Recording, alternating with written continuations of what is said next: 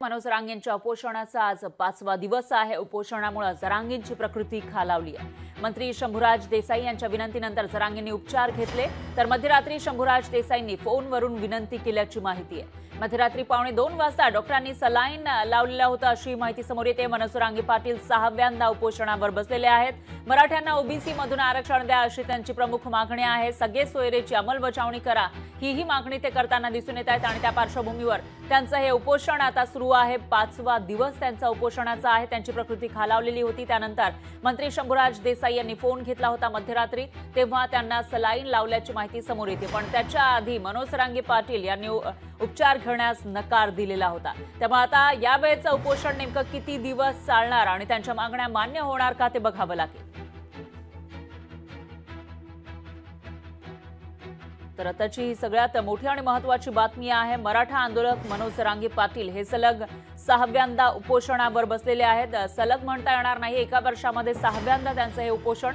मागच्या वर्षी सप्टेंबरमध्ये एक सप्टेंबरमध्ये राडा झाला होता त्यांच्या त्यांच्या उपोषणादरम्यान आणि त्याच्यानंतर वेगवेगळ्या चर्चा झाल्याचंही समोर आलेलं होतं. तर आता सहाव्यांदा त्यांचं हे उपोषण सुरू आहे. त्यामुळे आता हे उपोषण नेमकं कुठपर्यंत जाणार ते बघावं लागेल. आणि याविषयी अधिक माहितीसाठी आपले प्रतिनिधी सचिन बडे हे थेट आपल्यासोबत सोडले गेलेले आहेत. सचिन काय सांगाल? मनोज रांगे पाटील हे सात सहाव्यांदा उपोषण करतायत आणि आज त्यांच्या उपोषणाचा पाचवा दिवस आहे. अशामध्ये मंत्री शंभूराज देसाई यांनी त्यांना फोन केल्याचंही कळतंय मध्यरात्री. काय अपडेट्स आहेत त्याविषयी फराजी छत्रपती संभाजीनगर असेल मराठवाडा असेल बीड असेल जालना असेल या ठिकाणी समाजाच्या तीव्र भावना पाहायला मिळतात. मग ते ओबीसी असेल किंवा मराठा असेल कारण या ठिकाणी दोनही समाजाचे नेते उपोषणाला बसलेले आहेत. मग मनोज जरांगे पाटील असतील तर त्यासोबतच नवनाथ वाघमारे आहेत आणि लक्ष्मण हाके आहेत आणि त्यासोबतच ससाने हे जे काही ओबीसी नेते आहेत ते सुद्धा उपोषणाला बसलेले आहेत. आणि अशामध्येच शंभूराज देसाई यांनी मनोज जरांगे यांच्याशी संपर्क करण्याचा प्रयत्न देखील केलेला आहे. आणि त्यानंतर काही वेळ म्हणजेच काल रात्री अ, अंतरवली एक संघर्षमय परिस्थिती देखील निर्माण झालेली होती. कारण ज्या मार्गावरून आंदोलकांना आंदोलकांना भेटण्यासाठी नागरिक जातात तर ते रस्ते बंद करण्यात आलेले होते. आणि जाणीवपूर्वक तुम्ही काही लोकांना भेटायला जर जायचं असेल तर त्यांना गेट खुले करतात. मात्र काही विशिष्ट समाजाच्या लोकांसाठी तुम्ही गेट खुले करत नाहीत. हा संताप घेऊन या ठिकाणी घोषणाबाजी देखील झाली. कारण आता आंदोलन स्थळ म्हणजे अंतरावली सराटी वडीगोद्री या ठिकाणी तणावपूर्ण शांतता पाहायला मिळतीये. कारण दोनही उपोषण दोनही समाजाचे नेते काही किलोमीटरच्या अंतरावर बसलेले आहेत.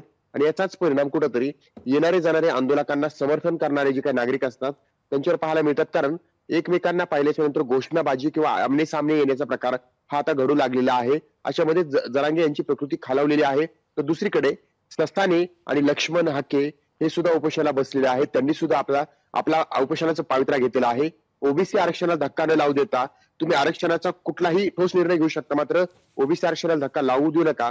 हा पावित्रा जो आहे तो या ओबीसी आंदोलकाचा पाहायला मिळतो. तर मनोज जरांगे ते स्वतः म्हणतात की आम्हाला ओबीसीतून आरक्षण हवंय. त्यामुळे ही लढाई जी आहे ती गेल्या बऱ्याच दिवसांपासून सुरू आहे. त्याची तीव्रता वाढत चाललेली आहे. आणि आता ज्या ठिकाणी उपोषण सुरू आहे म्हणजे आता मी जे आंतरवाली सराटीमध्ये आहे तर या आंतरवाली सराटीमध्ये सुद्धा तणावपूर्ण शांतता जी आहे ती निर्माण झालेली आहे. निश्चितच. एकूणच असं म्हणता येईल. सचिन आतापर्यंत मनोज रांगे पाटील यांचं हे उपोषण आपण बघितलेलं आहे पण आता मागच्या वेळेपासून त्यांच्या बाजूलाच किंवा त्यांच्या आसपासच्या एरियामध्ये कुठेतरी ओबीसी नेत्यांचंही उपोषण के- सुरू असल्याचं दिसतंय. त्याच्यामुळे आता याच्यावर नेमका तोडगा काय निघणार तेही बघावं लागेल. दरम्यान धन्यवाद. तुम्ही दिल्या या सविस्तर माहितीसाठी. लोकशाही मराठी.